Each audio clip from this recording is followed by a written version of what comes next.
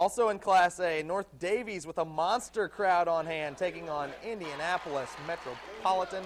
The Cougars started hot. Watch Joe Riggins knocking down a triple from the wing, part of an 8 0 opening run, and he's pumped. It tightened up, but Nick Craze played a whale of a ball game. Here he knifes into the paint, steps back from 10 feet. That little jumper tied it up. More Craze now. How about this kid getting to the rim again to make a play? But the Cougars, Cougars trailed by six at recess. Time winding down in the third, and Lewis Nugent with the ball fake and back it up, big fella. Three ball cuts the lead to four. But Jerbrian Graves would have the answer on the other end, a seven point deficit after the third quarter. Fourth quarter now. Here's Craze with a sweet move to the cup again, but it wouldn't be enough.